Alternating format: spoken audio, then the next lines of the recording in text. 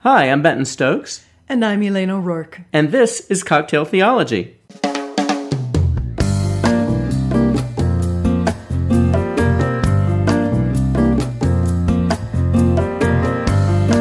Hello. You know what? Our first umpteen seasons, you did not start out that way. No, how did I start out? No, that was a very um, ZJ way to start out. It was. It felt like our friend. We have a friend, Jeremy, who we refer to as Zen Jeremy or ZJ on occasion. And he does, he would say, hello. so, so apparently you're channeling ZJ right now. I'm feeling pretty zen today. you yeah. are feeling pretty zen. so, yeah. Hi. Hi. How are you? I'm okay. I'm great because I get to talk with our people and with you. yeah, this is fun. We Mm-hmm. always enjoy doing this. We do.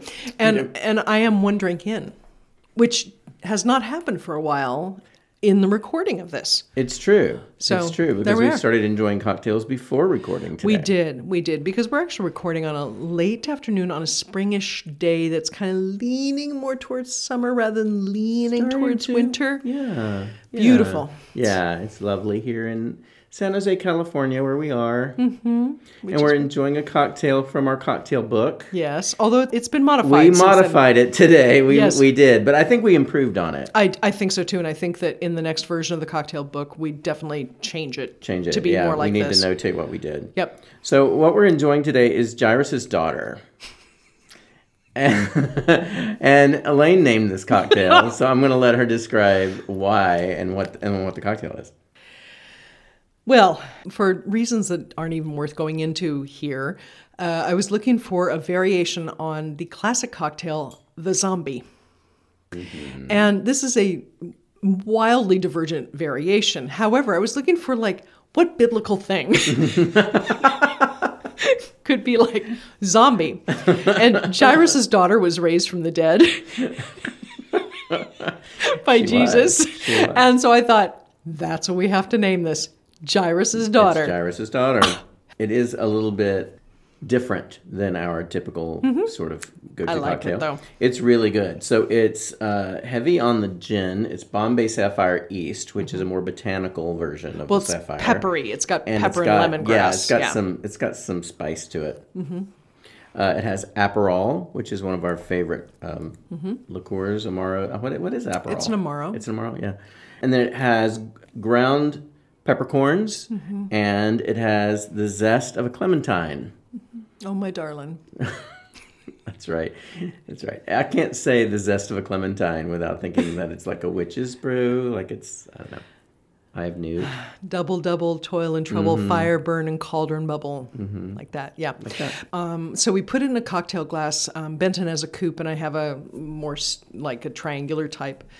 Um, but what we did was this time was we rimmed it with a combination of one of the salts we brought back from Hawaii, Mm. which is uh, salt, uh, lilikoi, which is uh, passion fruit, and some Hawaiian chilies. And that and sugar is the rim. Yeah, it's so really it just good. Mm-hmm. accents everything. So Yeah, I like it. I like it a lot. I like it too. So that's what we're drinking right now. That's what we're drinking. And today, what we are talking about is prayer. Uh, and prayer is one of those subjects that we could spend many episodes talking about, and we might. Today, we're more specifically posing the question why pray? Why is prayer an important part of a spiritual person's life? And it is. And it is. And uh, so, why? Why is that? I think one of the things that I've been coming around to in my in my own uh, relationship with God over the last year or so regarding prayer is that I I kind of view prayer as an act of trust, an act of my own trust in God. When I bring God something that's on my mind, or if I'm praying on behalf of someone else, what I'm really doing is I'm handing that that need or that desire or that dream or that hope to God, and I'm trusting it with God. Um, my role in that, besides handing it over to God, is also allowing God to keep it. And not immediately pulling it back and saying, "Wait, wait, I made a terrible mistake. I need to handle this right I need to now. handle this right now." And the thing is, when when we do that, sometimes God does give us a role in this, of course. Yes. So we may pray for, you know, I remember when I was in in kind of dire financial straits, I, I prayed that God would provide a way out, and God did provide a way out, but it required me being obedient to that and being disciplined about that and taking the steps to do it. Um, God really gave me some courage I think, and some insight into my own situation. Uh, God did not, you know, grab me by the collar and pull me out of debt. God instead gave me the courage and pointed me to the means to make some changes in my life. Um, and and it took a lot of work and a lot of patience and a lot of diligence, but I got there. And so God answered my prayer, but I was an active participant in the answer of my own prayer. Absolutely. No, absolutely. I was thinking as you were talking about that that that the other thing that God put into your path for you to choose to participate in or not was people. Yes. People who could help you. Yes. Whether it's friends who could support you um, emotionally or financially, whether it was people who could guide you on, you know, all those Right. things. And you chose at that point to take advantage of what God had put in front of you, having once prayed it Right. and that's course. such an but it's but of the of course that you just said is not an of course that a lot of people feel Well, and I wasn't feeling it then. no of course you weren't yeah, I, I definitely wasn't feeling it then. And the thing is, is that some of those resources were there the whole time. Of course. But it wasn't until I went to God. Yes. And I said, God, help me here, that I, I started to become aware right of of the people and the resources that were available to me, Exactly. and and my own ability to change course in Yeah. my own life and my spending and my debt and all that kind of stuff. Absolutely. stuff. And so, it, in a sense, I was an active participant in, in the answering of that prayer. yes uh, And sometimes we are. Yes. But the point is, while I could have done all of that without asking for God's help, Right. I wasn't doing that without God's help. Right. I wasn't even aware of everything that I could have been doing to fix my situation until I gave that situation to God. yes And so I think that trusting God with my debt and my financial need opened the door for me to start to see my own situation through a different lens yes. and to see ways that I could actually uh, find a way out. right. Yeah. Yeah soren kierkegaard who was a christian existentialist and they call him the father of existentialism talked about prayer in a number of different ways and he was a prayer. But one of the ways he talked about prayer was that prayer is not intended to change. God is intended to change the prayer. And I, th- I think he's overstating it- like if you take that all by itself as if he didn't say anything else it's an overstatement mm-hmm. right? Mm-hmm. But there's no question that if we are praying we see the world differently. We look for different things. If we actually are praying faithfully and what i mean by that is with a faith lens right Right. so i think plenty of people who would describe themselves as faithful don't pray faithfully mm. so there's either this sense of, I'm going to hand this to you, God, and I'm going to back off, and now I'm on my way. And if something doesn't happen, it's all on you, mm-hmm. right? And, and here we're talking about petitionary or intercessory prayer, right? Praying on behalf of ourselves or behalf of others rather than a different kind of prayer, because there's Yes. all different kinds of prayer. So we can pray faithfully in a way that is really tr- eh, challenging ourselves to engage in having trust. Mm-hmm. And there are lots of ways to do that. But what it does do, aside from what you were just saying about the resources already being there and God helping you see them, is it changed you in whatever way, whether it mm-hmm. was humility or mm-hmm. whatever, mm-hmm. to be able to see them Yes. right? Uh, you know, there's that old story about the person where the floods are rising, and the person gets up on the on the roof, and you know, somebody in a rowboat comes by and says, "Here, come, we'll rescue you." And the person says, "No, I'm praying to God. God will rescue me." You know, and we go on a helicopter and so forth. The guy drowns um, because you know he gets up to heaven and says, "God, why didn't you rescue me?" And it's like, "I sent you a freaking boat. I sent you a," you know, all those kinds of things. Right. Um, so there is that sense of faith that has to do with trust and then acknowledging or or being open to seeing when that's happening Yeah.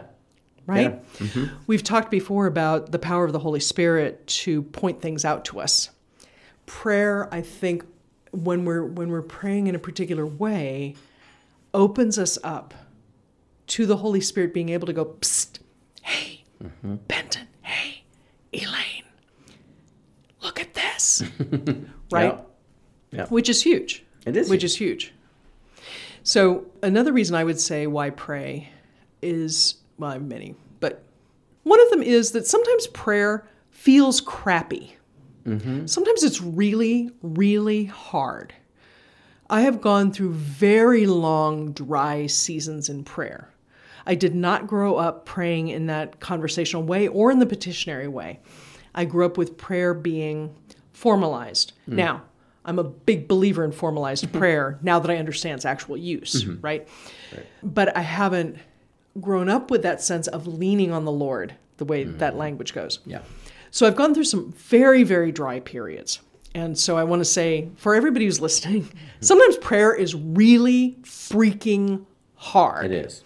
And just getting yourself to do it regardless of how it comes out. You know, it's like calling up a friend that you haven't talked to in a long time and you're kind of embarrassed to do it, or you have no idea what to say. That said, another good reason to pray, besides the fact that God does act in our lives, and besides the fact that it changes us and makes us more open to things, is that thing we've been talking about the physics of prayer. The reality is, is and literally, the reality is that mm-hmm. we know now that everything is, in fact, interconnected. And so when we pray, particularly if we pray out loud, only be, not because out loud is magic, but because it engages more of this, mm-hmm. particularly when we pray out loud, we are in fact affecting the universe because we are affecting the little tiny bits of pieces around us, which affect the little tiny bits of pieces around them, which affect, and so forth. So even if you don't believe that God reaches in and does things, which I do, the fact that we are connecting with something bigger than we are is mysterious and miraculous. It is. Yeah. So that's another good reason to pray.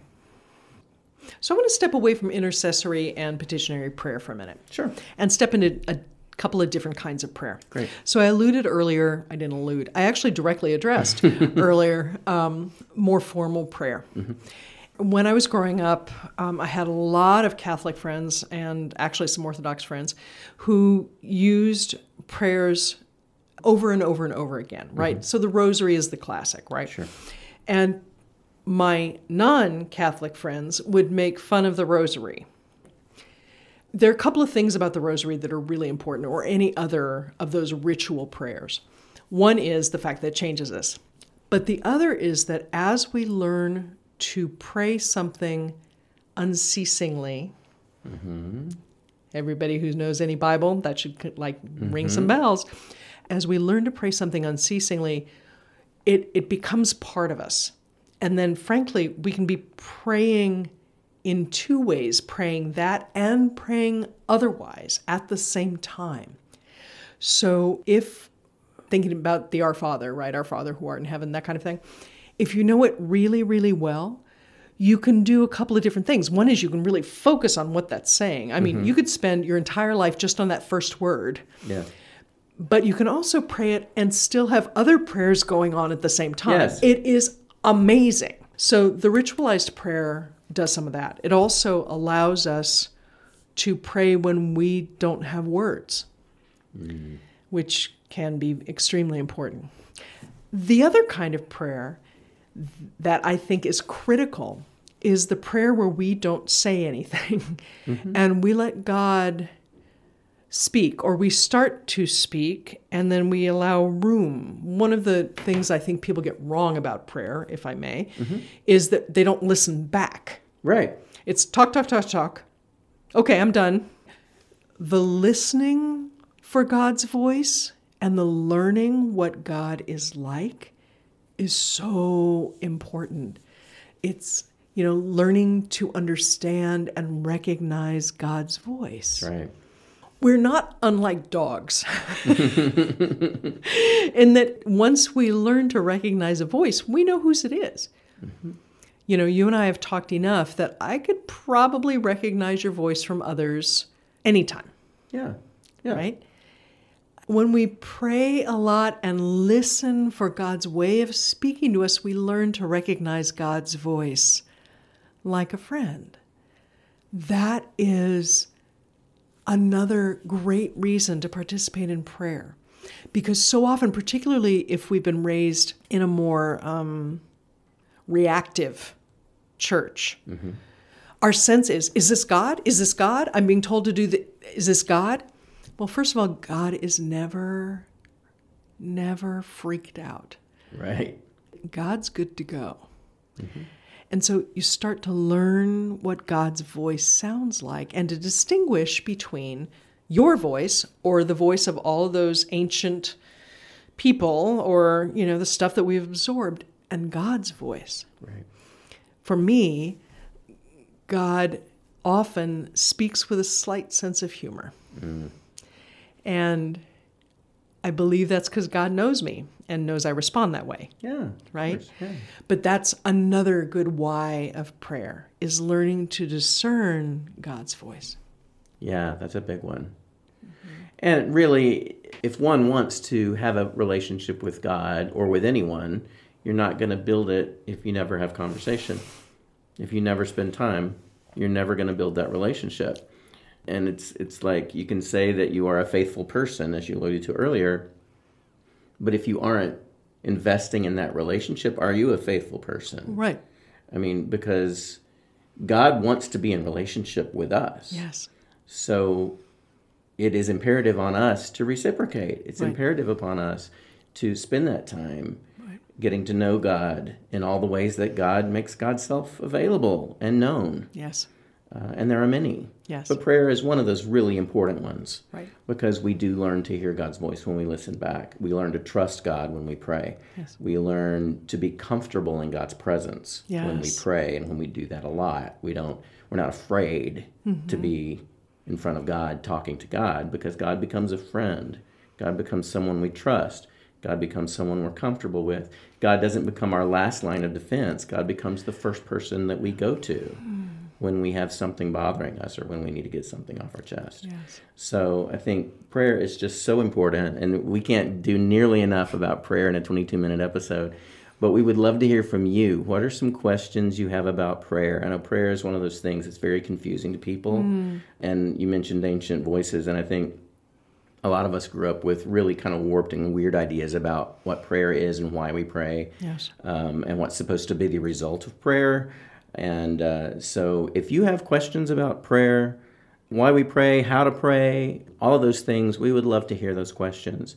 You can always email us at Benton, B E N T O N, or Elane, E L A N E, at schoolforseekers.com. Also, if you have other questions or other issues you would like us to discuss on cocktail theology, reach out because we want to hear from you. Absolutely. I'm going to have some more of this Jairus' daughter. Are you, or are you going to move on to something else? Well, I'm going to Well, now that she's resurrected, now that she's resurrected. now that she's no longer a zombie. I know. Yeah, she's been sitting there a while. I don't know. She may be a zombie again. yeah, I think I think that one's dead. I think that one's just long gone. Time to move on, my friend. All right. Fair enough. Thanks, y'all, for listening. Bye bye. Bye.